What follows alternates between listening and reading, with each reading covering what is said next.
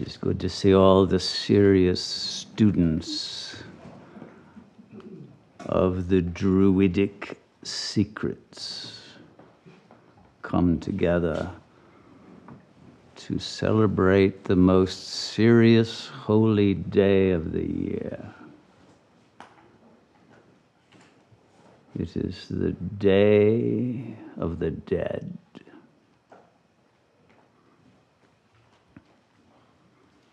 We celebrate ego death, following which we all become saints. So enjoy your sins while you can, because tomorrow is All Saints' Day and none of this will be allowed. But tonight it is all allowed, everything, very loud. because tonight we get to the core of the real. Other holidays are fluff and nonsense, celestial voodoo, children's fairy tales. But tonight we study the real. We become the real. You've done a good job displaying your real nature. I knew it. Indeed. Well, tonight I'm going to begin by giving you a very serious class in the history of Halloween. And I think everyone should know the history because it is your own mystery your own disastrous fall into the night of time.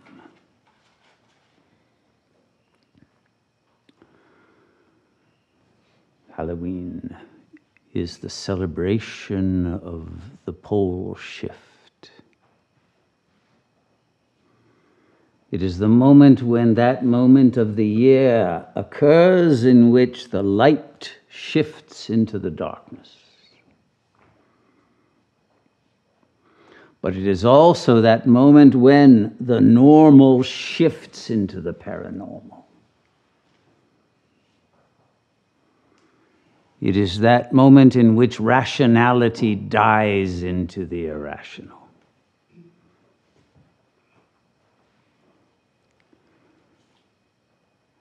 And all the ordinary types morph into their archetype.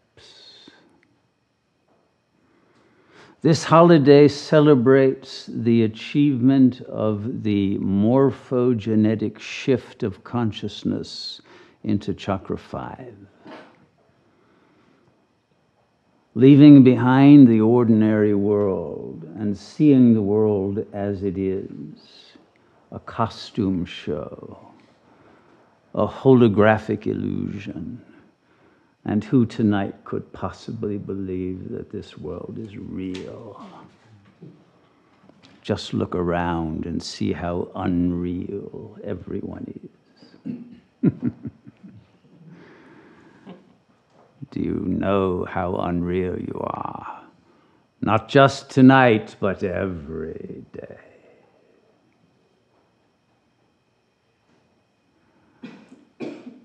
And so to get to the roots of the history of Halloween, we have to go much further back in time. We have to go back to the origins of the reason for human emotional instability and the human predilection for predicting apocalyptic demises of the planet. The reason why these predictions, these foretellings of disaster, of planetary death, arise in every culture is not because their prophets can foresee the future. It's because it already happened in the past. There's a remembrance, even breaking through the amnesia of the ego, of a time at the end of the Silver Age, when that peaceful kingdom of the gods and goddesses of Treta Yuga fell through the collapse of the soul into the ego. And it was accompanied by disastrous geological shifts of tectonic plates, but also of a war between two kingdoms, a nuclear war that is today remembered as an ultimate Holocaust.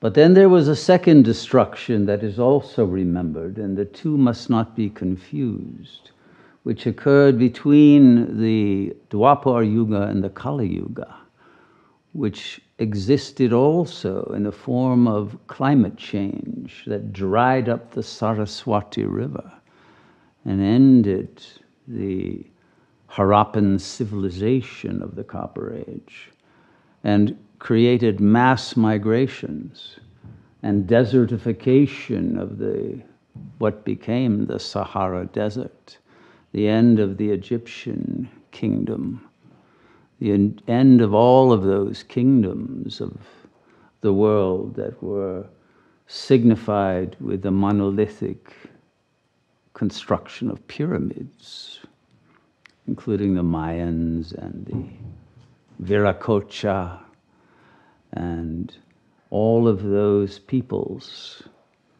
who have disappeared from time. Because at one time, the great center of civilization was what is now called Antarctica. But it was at that time because of a pole shift, an equatorial land. And then later, another pole shift brought it into the Arctic rather than the Antarctic.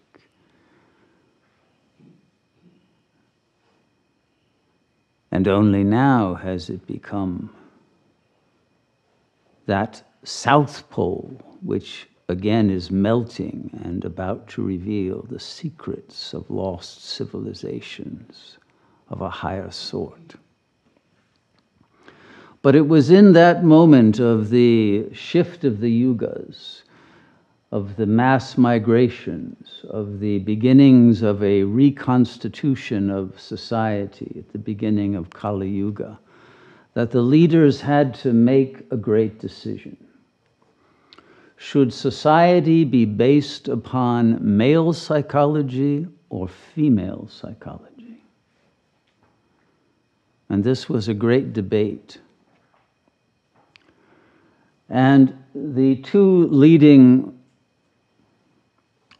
rulers of the time, who are depicted and described in the Rig Veda as Tvastar and Danu, the father and the mother of the civilization of the Aryans, had three children Manu, Indra, and Vishvarupa.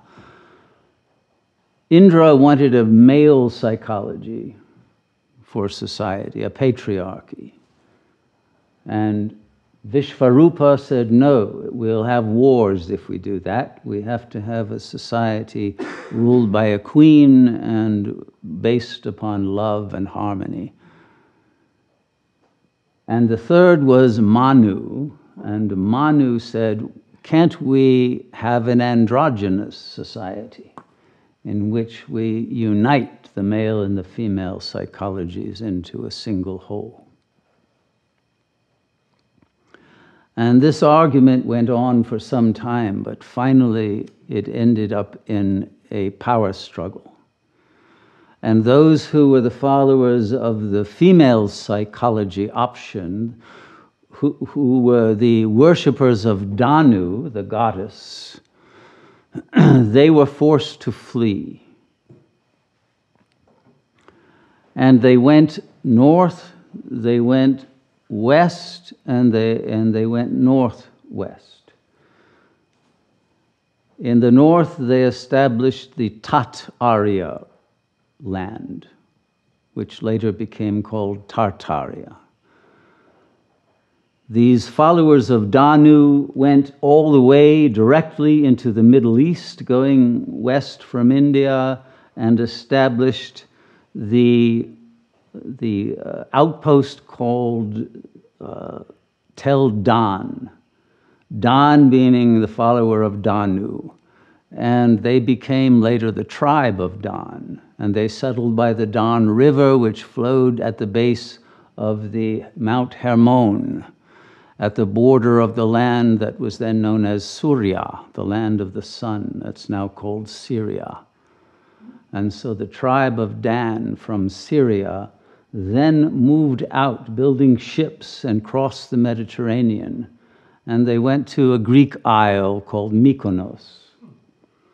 And there they built ships that could travel all the way around to northern Europe.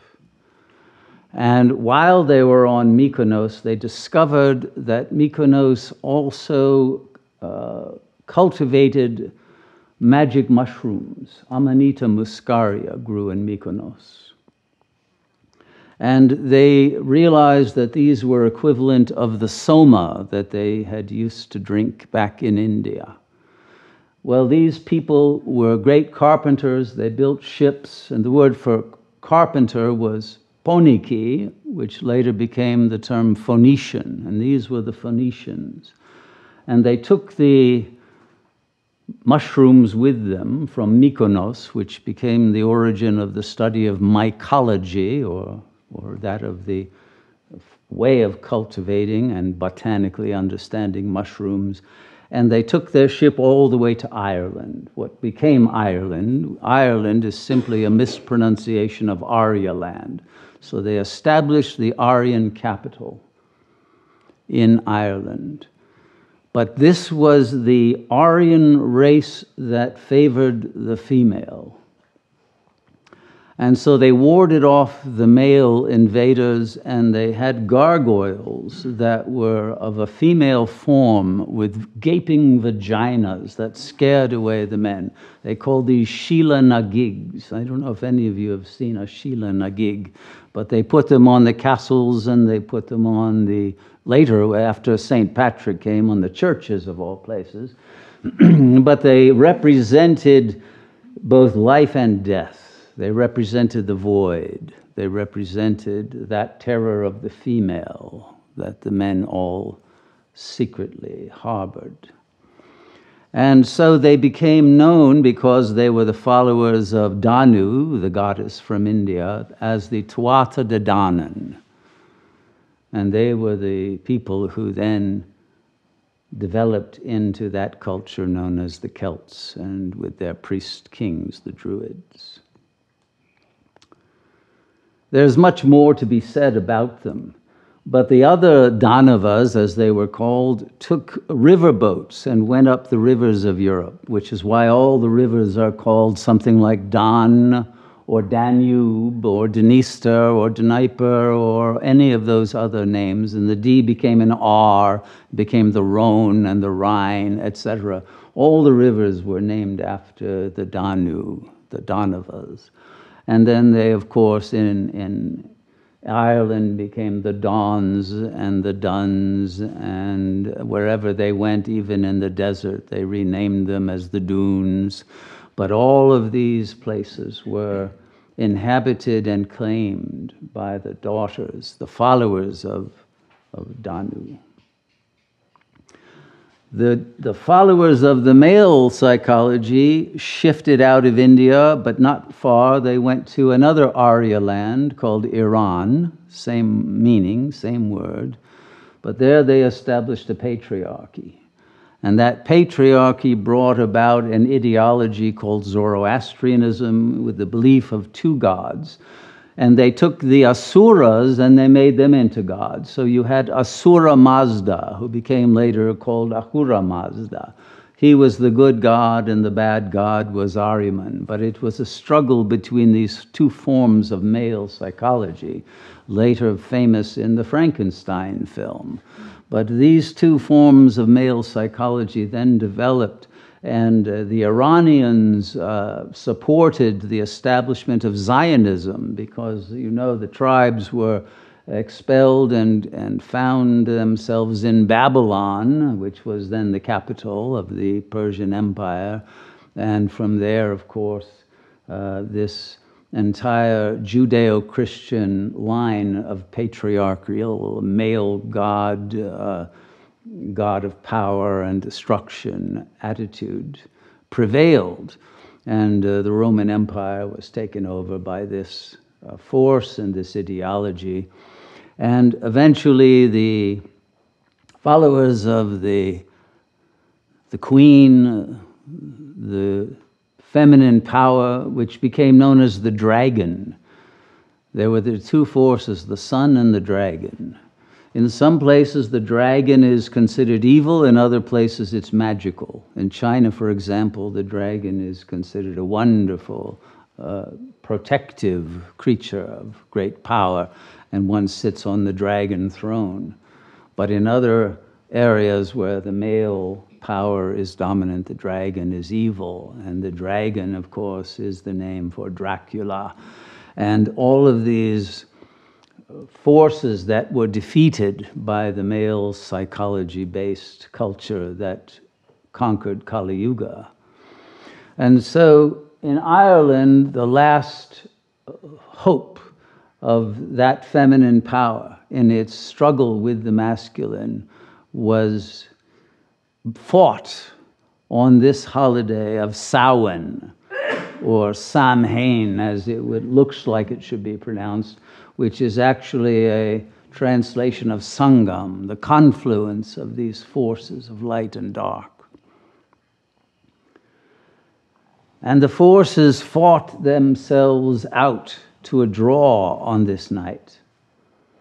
But gradually, the powers of the paranormal that were enhanced by the drinking of soma, by the taking of the magic mushrooms that would bring altered states of consciousness. The mushrooms in Ireland were taken care of by the people from Mykonos, who became known as the McKenna clan. And even now, the McKennas are very much in charge of the dissemination of the magic mushroom. But it's this that became the power that was used by the feminine host in order to disrupt the male ego and dissolve boundaries and enable a kind of unitive love again to prevail, if only for one evening. But this was the entire meaning to go beyond that boundary of light and dark and unite these two forces so that at least one night of the year there could be the realization of the true meaning of love. But it was not to last.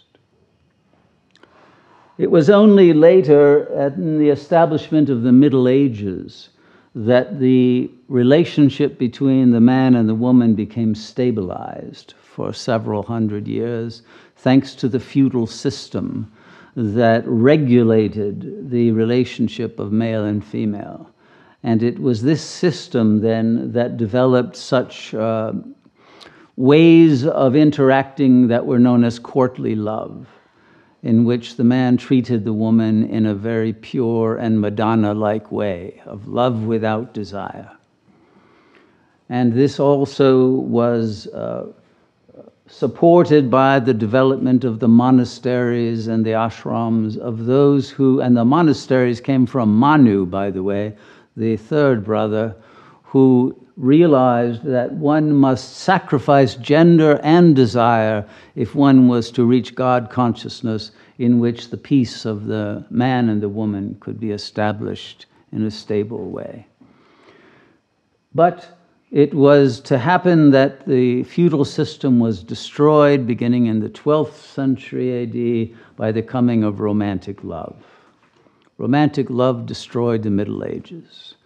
It began with that uh, story of Tristan and Isolde, in which the love that broke the law was valorized over the love that kept the law. And then infidelity, once valorized, destroyed the trust of men with men, men with women, women with women, and society gradually decomposed. The Middle Ages fell apart, and a brutal and savage capitalism replaced it. And here we have truly the beginning of the ghouls taking over the world, when the world would become Halloween in its worst and most degraded form, in the form of war and deception and darkness of every kind. And so now we are at that moment in which the evil forces have become hegemonic over the forces of light. And for the forces of light to return and to gain victory, we must again enter into the precincts of the god Agni. We must become the fire, the fire of sacrifice, of body consciousness, and of gender difference, and reach that radiant sameness of the unitive love that knows no otherness, neither subject nor object. And it's that love that we are here to celebrate as the apotheosis of All Hallows Eve.